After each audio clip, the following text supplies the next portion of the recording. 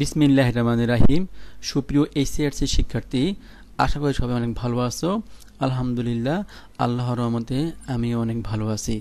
প্রিয় শিক্ষার্থী, আজকে তোমাদের সাথে আমি অ্যাকাউন্টিং ফার্স্ট পেপারের জাবেদা অধ্যায়ের কিছু ইজি বাট ইম্পর্টেন্ট অ্যান্টি নিয়ে আলাপ করব। প্রিয় শিক্ষার্থী তোমাদেরকে জাবেদা ভালো মতো জানতেই হবে? কারণটা হলো তোমাদের বেসিক স্ট্রং করার জন্য আসলে কিন্তু জাবেদার কোনো বিকল্প নেই। পাশাপাশি যখন তোমরা দুই গড়া বা তিন গড়া নদম বই করবা, তখন তোমাদেরকে জাবেদাটা খুব কাজে আসবে। কারণটা হলো, দুই গোড়া বা তিন গোড়া নদন বই পারতে হলে তোমাকে আগে পরিপূর্ণভাবে জাবেদা ক্লিয়ার পারতেই হবে। প্রিয় শিক্ষার্থী, তোমরা দেখতেছো, আমাদের আজকে লেকচার থ্রি এই লেকচার থ্রিটা করার আগে তোমাদেরকে আমি রিকোয়েস্ট করি বলব যে তোমরা আমাদের লেকচার ওয়ানের এই যে এ এল সি আর ই ডি অর্থাৎ এই ছয়টি উপাদান তোমরা একটু ভালোভাবে দেখে আসো। এই ছয়টি উপাদানের যে কৌশলটা বলা আছে, তোমরা সেই কৌশলটা পারলেই তোমরা আজকে আমাদের যে ভিডিওটা, সেটা তোমরা খুব ইজিলি বুঝতে পারবা। প্রিয় শিক্ষার্থী, আর আজকের এই ভিডিওটা নেওয়া হয়েছে আমার লেখা অ্যাকাউন্টিং পাওয়ার বই থেকে। আমরা কিন্তু তার আগের লেকচারে এই যে এগুলো আলাপ করছিলাম। আজকে আমাদের শুরু হচ্ছে এখান থেকে। অর্থাৎ দশ নম্বরের লেখা আছে নগদে মাল ক্রয় বিশ হাজার টাকা। প্রিয় শিক্ষার্থী, একটু খেয়াল করো ভালোভাবে। নগদে মাল ক্রয় করছি আমরা। এই যে মাল ক্রয় করছি, কেন আমরা? বিক্রয়ের উদ্দেশ্যে। দেখো, আমরা যখন বিক্রয়ের উদ্দেশ্যে কোনো মাল বা পণ্য ক্রয় করি, আমাদের কি হয়? ব্যয় বৃদ্ধি পায়। প্রিয় শিক্ষার্থী, ব্যয় বৃদ্ধি পেলে কী হয়? ডেবিট হয়। আর আমরা যদি বিক্রয়ের উদ্দেশ্যে যাই কিছুই ক্রয় করব, আমরা সবসময় কিন্তু ক্রয় নামটাকেই ডেবিট করব। তাহলে আমরা যেটা বুঝলাম যে এই মাল ক্রয় করার কারণে আমাদের ব্যয় বৃদ্ধি পাইছে, আর ব্যয় বৃদ্ধি পেলে আমরা কি করব? ডেবিট করব ডেবিট কি নামে লিখব? আমরা কয় নাম লিখব। কেন কয় নাম লিখব? আমরা জানি বিক্রয়ের উদ্দেশ্যে দুনিয়ার মধ্যে যত কিছুই ক্রয় করা হয় কয় নামটাকেই ডেবিট করা হয়। ওকে তো ক্রেডিট কি হবে? ক্রেডিট হবে এই যে আমরা নগদ পণ্য ক্রয় করছি, আমাদের কি নগদ টাকা চলে গেছে? আর নগদ টাকা কি আমাদের সম্পদ? আমরা জানি সম্পদ কমলে কি হয়? ক্রেডিট হয়। সেখানে অ্যান্সারটা হবে ক্রয় হিসাব ডেবিট নগদ হিসাব ক্রেডিট ক্রয় ডেবিট হলো আমরা পণ্য ক্রয় করছি বিক্রির উদ্দেশ্যে, আর পণ্য যখন ক্রয় করছি আমরা ব্যয় বৃদ্ধি পাইছে, ব্যয় বৃদ্ধি বলে ডেবিট হয়। আর আমাদের নগদ টাকা চলে গেছে, অর্থাৎ সম্পদ কমে গেছে, সম্পদ কমলে ক্রেডিট হয়। অ্যান্সারটা হবে ক্রয় হিসাব ডেবিট নগদান হিসাব ক্রেডিট প্রিয় শিক্ষার্থী, আমরা কিন্তু আমাদের এক নম্বর লেকচারে একটা কৌশল বলছিলাম যে আমাদের কারবারের নগদ টাকা আসলেই ডেবিট নগদ টাকা চলে গেলেই ক্রেডিট সেখানে তোমরা নিজেরাই একটু ভাবো, আমরা যখন মাল ক্রয় করছি আমাকে টাকা চলে গেছে? সো নগদান ক্রেডিট প্রিয় শিক্ষার্থী, তারপরটা আমরা আসি যে ধারে মাল ক্রয়। প্রিয় শিক্ষার্থী, একটু খেয়াল করো, আমাদের দশ নম্বর কী ছিল? নগদে মাল ক্রয়। আমার এগারো নম্বর কী আছে? ধারে বা বাকিতে মাল ক্রয়। অর্থাৎ ধরে নাও তুমি নিজে ব্যবসায়ী, এখন তুমি যেখান থেকে সবসময় পণ্য ক্রয় করো তোমার হাতে টাকা নাই। তুমি ওই লোককে বলছো যে, ভাই, আমার হাতে টাকা পয়সা এখন নাই, আপনি একটা কাজ করেন, আমাকে পণ্য দেন, আমি আপনাকে কয়েকদিন পরে টাকা দিয়ে দিব। তো উনি তোমাকে পণ্য দিল, তুমিও নিয়ে আসছো। তাহলে তুমি কি বিক্রির জন্যই পণ্য ক্রয় করছ? তা আমরা জানি বিক্রির উদ্দেশ্যে পণ্য ক্রয় করলে কি কয় নামটা? ডেবিট করতে হয়, ক্রয় হিসাব ডেবিট ক্রেডিট কি হবে?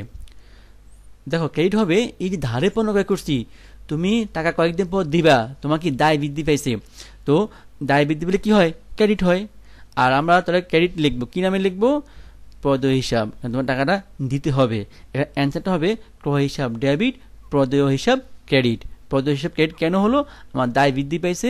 আর আমরা জানি দায় বৃদ্ধি পেলে ক্রেডিট হয়। তো শিক্ষার্থী, এখানে আমাদের দেশের মধ্যে আমরা দেখি অনেক বইয়ের মধ্যে বা অনেক শিক্ষার্থী ক্রয় হিসাব ডেবিট লেখে ঠিক আছে। ওরা ক্রেডিটে বিবিধ পাওয়াদার নামটা লেখে। হ্যাঁ তোমাদের অ্যান্সারটা হবে। আর বিবিধ পাওয়াদারটা হলো ব্রিটিশ সিস্টেম। আসলে আমাদের বর্তমানে অ্যাকাউন্টিংটা আধুনিক সিস্টেমে বেশি করা হয়। এখন যদি তোমরা পাওয়াদার দাও, অঙ্ক হবে মার্কস পাবা। তবে আমার ব্যক্তিগত মতামতটা হলো, আমরা যেহেতু আধুনিক আধুনিকটাই বেশি ফলো করতেছি আমি এখানে ক্রয় হিসাব ডেবিট লিখব আর প্রদয় হিসাবটা ক্রেডিট করব। প্রিয় শিক্ষার্থী, তারপরটা আমরা আসি। মাল ক্রয় চল্লিশ হাজার টাকা। দেখো, আমাদের এই দশ নম্বর এবং এগারো নম্বরে লেখা আছে নগদে এবং ধারে। বা বারো নম্বরে নগদে বা ধারে কোনো কিছু উল্লেখ করা নাই। প্রিয় শিক্ষার্থী, এক্ষেত্রে খেয়াল রাখতে হবে, আমাদেরকে বুঝতে হবে আমরা নগদেই পণ্য ক্রয় করছি। কারণ সাধারণত আমরা যখন কারণ নিকটে কিছু ক্রয় করি, আমাকে সেটা নগদেই ক্রয় করি। ঠিক আছে? হ্যাঁ সো এখানে আমরা জিনিসটা কি পাবো নগদে হয়েছে এই ক্ষেত্রে তাহলে আমাদের এই অ্যান্সারটা হবে দশ নম্বরের মতোই ক্রয় হিসাব ডেবিট নগদান হিসাব ক্রেডিট তারপরটা আসো যে চেকের মাধ্যমে মাল ক্রয়। দেখো, আমরা কিন্তু দশ নম্বর ছিল নগদে, এগারো নম্বর ছিল ধারে বা বাকিতে। এখন তেরো নম্বর হলো চেকে অর্থাৎ ধরো তোমার হাতে কোনো টাকা নাই বাট তোমার টাকা ব্যাংকের মধ্যে আছে। এখন সাপোজ ধরলাম, আজকে শুক্রবার ব্যাংক বন্ধ, তুমি চেক দিবা ওই লোককে। এখন তুমি বলছো যে, ভাই, আপনি রবিবারে ব্যাংক খোলা, তো টাকাটা আপনি নিয়ে নেন। আজকে শুক্রবার, আজকে আমাকে আপনি পনেরোটা দেন। তাহলে উনি যখন রোববার টাকাটা ব্যাংক থেকে নিয়ে নিবে, তাহলে বাস্তবে কী কাহিনী ঘটবে? কাহিনী হবে, ধরো তোমার ব্যাংকের মধ্যে টাকা এক লক্ষ টাকা আছে। এখন উনি এক লক্ষ টাকা থেকে পঞ্চাশ হাজার টাকা যদি নিয়ে যায়, তোমার অ্যাকাউন্টে আর কত টাকা থাকবে? পঞ্চাশ হাজার টাকা থাকবে। অর্থাৎ আমরা জানি যে ব্যাংকে যে টাকা রাখা হয়, সেটা আমার সম্পদ। আর সম্পদ কমলে কি হয়? ক্রেডিট হয়, তো টাকাটা কি ব্যাংক থেকে কমে যাবে? আর আমি যে পণ্য ক্রয় করছি কেন? বিক্রির উদ্দেশ্যে, তো ক্রয় হিসাব এখানে ডেবিট হবে, আর ক্রেডিট কি হবে? ক্রেডিট হবে ব্যাংক ব্যাংক কেন ক্রেডিট হবে? আমার টাকাটা ব্যাংক থেকে কমে যাচ্ছে। আর ব্যাংক আমার সম্পদ সম্পদ কমলে ক্রেডিট হয়।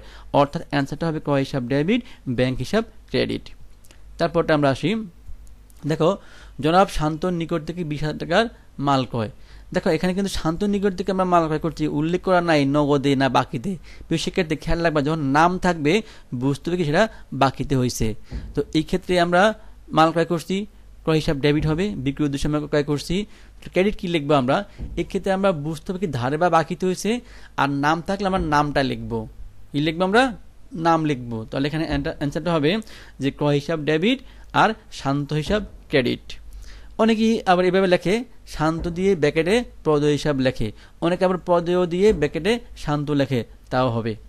প্রিয় শিক্ষার্থী, তারপরটা আমরা আসি যে লেখা আছে, জনাব শান্ত নিকট থেকে নগদে দুই হাজার টাকার মাল ক্রয়। ওকে, এখানে নগদ উল্লেখ করা আছে, আমাদের কিছু ভাবতে হবে না। অর্থাৎ আমরা লিখব ক্রয় হিসাব, ডেবিট, নগদান, ক্রেডিট। তারপরটা আমরা আসি জনাব শান্তর নিকট থেকে ধারে বিশ হাজার টাকার মাল কয় আমাদের এই চোদ্দ নম্বর অ্যান্টিটা আর ষোলো নম্বর অ্যান্টিটা হুবাহুব সেম জাস্ট এখানে আমার ধারে উল্লেখ করে নাই, এখানে কি ধারে উল্লেখ করছে? হ্যাঁ সো আমরা লিখব আমাদের চোদ্দ নম্বরের মতোই ক্রয় হিসাব ডেবিট আর শান্ত হিসাব ক্রেডিট তারপরটা আমরা আসি সতেরো নম্বরে জনাব শান্ত নিকট থেকে বিশ হাজার টাকার মাল ক্রয় করে দশ হাজার টাকা প্রদত্ত হলো। প্রিয় শিক্ষার্থী, একটু খেয়াল করো। অর্থাৎ, তুমি শান্ত নামে একটা ব্যক্তির কাছ থেকে বিশ হাজার টাকার পণ্য ক্রয় করছ। পণ্য ক্রয় করে বলছো ভাই, আপনি এখন দশ হাজার টাকা রাখেন, আমি দশ হাজার টাকা আপনাকে কয়েকদিন পরে দিয়ে দিব। তাহলে কি হলো? এই বিশ হাজার টাকার মধ্যে তুমি দশ হাজার টাকা নগদ দিছো, আর দশ হাজার টাকা কি আছে? বাকিতে আছে। তাহলে তুমি পণ্য ক্রয় করছ বিশ হাজার টাকার। ক্রয় হিসাব ডেবিট, বিশ হাজার টাকা। তুমি নগদ দিচ্ছ কত টাকা? দশ হাজার টাকা। তোমার নগদ টাকা কমে গেছে। তোমার সম্পদ কমে গেছে দশ হাজার টাকার। অর্থাৎ সম্পদ কমলে ক্রেডিট হয়। তাহলে কী হবে? তোমার নগদান হিসাব ক্রেডিট হবে দশ হাজার টাকা। আর দশ হাজার তুমি দেওয়া নাই, কয়েকদিন পর দিবা। তখন দায় বৃদ্ধি পাইছে। দায় বৃদ্ধি দিলে কী হয়? ক্রেডিট হয়। তাহলে এখানে কী লিখব আমরা? শান্ত হিসাব ক্রেডিট করব আমরা দশ হাজার টাকা। অর্থাৎ এখানে অ্যান্সারটা হবে যে ক্রয় হিসাব ডেবিট বিশ হাজার টাকা নগদান হিসাব ক্রেডিট দশ হাজার টাকা, আর শান্ত হিসাব ক্রেডিট দশ হাজার টাকা। আমি আবার বলতেছি, জনাব শান্ত নিকট থেকে বিশ হাজার টাকার মাল ক্রয় করে দশ হাজার টাকা প্রদত্ত হলো। অর্থাৎ আমরা পণ্য ক্রয় করছি বিশ হাজার টাকার, আমরা তার মধ্যে দশ হাজার টাকা দিয়ে দিছি। আর দশ হাজার টাকা দিই নাই, কয়েকদিন পর দিব। আমার দায় সেটা। তাহলে এখানে আমরা লিখব, ক্রয় হিসাব ডেবিট বিশ হাজার টাকা, নগদান হিসাব ক্রেডিট দশ হাজার টাকা, আর শান্ত হিসাব ক্রেডিট দশ হাজার টাকা। হ্যাঁ আমার বিশ্বাস তোমরা এটা পারবা। প্রিয় শিক্ষার্থী, আমরা তারপরটা আসি। দেখো, আঠারো নম্বর লেখা আছে, জনাব শান্তর নিকট থেকে বিশ হাজার টাকার মাল ক্রয় করে দশ হাজার টাকা নগদে এবং চেকের মাধ্যমে পাঁচ হাজার টাকা দেওয়া হলো। প্রিয় শিক্ষার্থী, এখানে শিক্ষার্থীরা বুঝের ভুলে অঙ্গটা ভুল করে ফেলে। একটু খেয়াল করো, আমরা পণ্য ক্রয় করছি বিশ হাজার টাকার। তো তোর মধ্যে আমরা নগদে দিচ্ছি আমরা দশ হাজার টাকা, চেক দিছি পাঁচ হাজার টাকা। কত টাকা? পনেরো হাজার টাকা। তাহলে বাকি পাঁচ হাজার টাকা কই? বুঝতে হবে, সেটা হলো বাকিতে। অর্থাৎ ধরো, তুমি শান্তনু নামক একটা ব্যক্তির নিকট থেকে বিশ হাজার টাকার পণ্য ক্রয় করছ। ক্রয় করার পরে তুমি ওনাকে দশ হাজার টাকা সঙ্গে সঙ্গে দিয়ে দিছো যে, ভাই, আপনি দশ হাজার টাকা নেন। আর দশ হাজার টাকার মধ্যে আপনি এক সপ্তাহ পরে পাঁচ হাজার টাকা নিয়ে নিয়েন। আর পাঁচ হাজার টাকা আমি আপনাকে পরে দিব। তাহলে আমরা কি বুঝলাম? বিশ হাজার টাকার পণ্য ক্রয় করছি, তার মধ্যে আমরা নগদে দিলাম দশ হাজার টাকা। আমরা চেক দিলাম, পাঁচ হাজার টাকা। অর্থাৎ আমার নগদ টাকা কমে গেছে, আমার সম্পদ কমে গেছে। আবার আমার এই পাঁচ চেক দিছি, অর্থাৎ আমার ব্যাংক থেকে কি টাকা কমে যাচ্ছে? ওই টাকা নেওয়ার পরে কি টাকাটা কমে যাবে? সম্পদ কমবে? পাশাপাশি কি হবে? আমার পাঁচ দায় বৃদ্ধি পাইছে। কীভাবে বুঝলাম? যেহেতু আমি বিশ হাজার টাকা পণ্য ক্রয় করছি, দশ হাজার টাকা নগদে দিলাম, পাঁচ হাজার টাকা আমি চেক দিলাম বাট আমি পাঁচ হাজার টাকা দিই নাই, দিতে হবে, আমার দায় বৃদ্ধি পাইছে।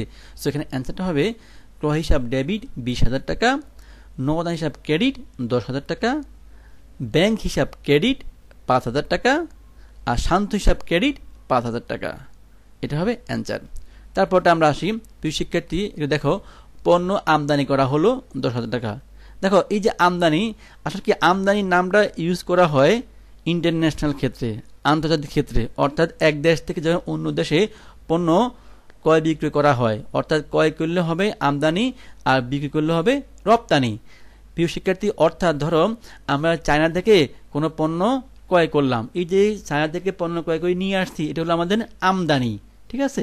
আর রপ্তানি হবে যখন আমরা বাংলাদেশ থেকে অন্য দেশে পণ্য বিক্রি করব, সেটা হবে রপ্তানি।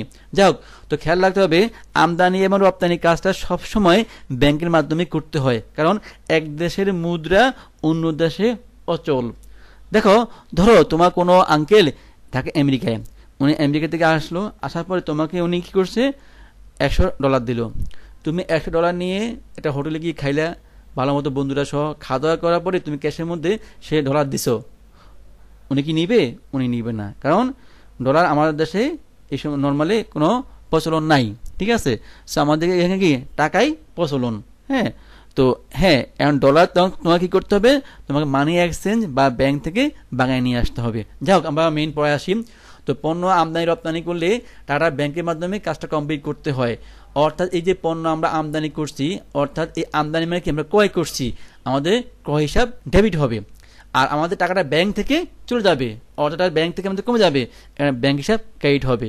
অর্থাৎ আমদানি করলে আমরা কয় নাম লিখব, আমরা এটা ক্রয় করছি বাট ইন্টারন্যাশনাল ল্যাঙ্গুয়েজটা হলো আমদানি। হ্যাঁ সেখানে অ্যান্সারটা হবে ক্রয় হিসাব ডেবিট আর ব্যাংক হিসাব হবে ক্রেডিট ব্যাংক কেন ক্রেডিট হবে? টাটা আমার ব্যাংক থেকে ওরা ওদের দেশের টাকায় বা ডলারে রূপান্তরিত করে নিয়ে যাবে। অর্থাৎ তোমার ধরো ব্যাংকের মধ্যে টাকা দশ লক্ষ টাকা আছে। তুমি এখন আট লক্ষ টাকার পণ্য আমদানি করছ। তাহলে ওই দশ লক্ষ টাকা থেকে তোমার আট লক্ষ টাকা ওরা ডলারে বা ওই দেশের যে মুদ্রা আছে, সেই মুদ্রায় ওরা পরিণত করে নিয়ে যাবে। তো অ্যান্সারটা হবে কি? ক্রয় হিসাব ডেবিট ব্যাংক হিসাব ক্রেডিট শিক্ষার্থী তারপরটা আমরা আসি। দেখো, আমাদের বিশ নম্বর লেখা আছে যে, তিরিশ হাজার টাকার পণ্য ক্রয় করা হলো যা তিরিশ পার্সেন্ট নগদে, চল্লিশ পার্সেন্ট চেকে এবং বিশ পার্সেন্ট বিলের মাধ্যমে প্রদান করা হলো। একটু আবার ভালোভাবে খেয়াল করো, তিরিশ হাজার টাকার পণ্য আমরা ক্রয় করছি, যার তিরিশ পার্সেন্ট নগদে, চল্লিশ পার্সেন্ট চেকে। তো তিরিশ হাজার চল্লিশ কত হয়? সত্তর। বিশ পার্সেন্ট বিলে। কত হয়? নব্বই। বাকি দশগুলো কই? বুঝতে হবে সেটা হলো বাকিতে। ঠিক আছে? অর্থাৎ আমাদের এখানে আমার নগদ বুঝলাম, চেক বুঝলাম। এই যে বিল দেওয়া আছে এটা কি প্রদেয় বিল? তাহলে আমাদের অ্যান্সারটা হবে ক্রয় হিসাব ডেবিট তিরিশ হাজার টাকা নগদান হিসাব ক্রেডিট তিরিশ পার্সেন্ট যা হয়। অর্থাৎ তিরিশ হাজার টাকার তিরিশ পার্সেন্ট নয় হাজার টাকা হয়। তাহলে আমরা লিখব নগদান ক্রেডিট হবে আমাদের নয় হাজার টাকা আর চল্লিশ পার্সেন্ট চেকে মানে ব্যাংক, আমাদের যদি চল্লিশ পার্সেন্ট চেকে হয়, কত টাকা হবে? বারো হাজার টাকা হবে। তা আমরা লিখব যে ব্যাংক হিসাব ক্রেডিট তারপর আমরা বিশ পার্সেন্ট বিলে এটা কি, প্রদেয় বিল কত টাকা হবে? বিশ পার্সেন্ট আমাদের ছয় হাজার টাকা হবে। তো বাকি যে দশ পার্সেন্ট সেটা কত টাকা? তিন হাজার টাকা। সেটা হবে বাকিতে। অর্থাৎ অ্যান্সারটা হবে, ক্রয় হিসাব ডেবিট তিরিশ হাজার টাকা, নগদান হিসাব ক্রেডিট নয় হাজার টাকা ব্যাংক হিসাব ক্রেডিট বারো হাজার টাকা, প্রদেয় বিল হিসাব ক্রেডিট ছয় হাজার টাকা। আর টেন পার্সেন্ট হবে ধারে বা বাকিতে মানে কি? প্রদেয় হিসাব। পদ হিসাব ক্রেডিট হবে আমাদের তিন হাজার টাকা। তারা কীভাবে বের করলাম? এই তিরিশ হাজার টাকার তিরিশ পার্সেন্ট চল্লিশ পার্সেন্ট বিশ পার্সেন্ট আর দশ পার্সেন্ট তাহলে আমি আবার একটু বলি অ্যান্সারটা লিখতে হবে। ক্রয় হিসাব ডেবিট তিরিশ হাজার টাকা। নগদ হিসাব ক্রেডিট নয় হাজার টাকা। ব্যাংক হিসাব ক্রেডিট বারো হাজার টাকা। পদ বিল হিসাব ক্রেডিট ছয় হাজার টাকা। আর পদ হিসাব ক্রেডিট হবে তিন হাজার টাকা। প্রিয় শিক্ষার্থী, আমার বিশ্বাস, তোমরা এগুলো ভালোভাবে বুঝতে পেরেছ। তোমরা বুঝতে না পারলে তোমরা বারবার দেখো। এরপর যদি না বুঝতে পারো? তোমরা কমেন্টে লেখো, আমি তোমাকে অ্যান্সার দিয়ে দিব। প্রিয় শিক্ষার্থী, তোমরা রেগুলার আমাদের ভিডিওগুলো কন্টিনিউ দেখো। আমার বিশ্বাস তোমরা ইনশাল্লাহ অনেক ভালো করতে পারবা। তোমাদের কোনো পাইট পড়তে হবে না। প্রিয় শিক্ষার্থী, তোমরা সবাই ভালো থাকো। আজকে এই পর্যন্তই। আল্লাহ হাফেজ।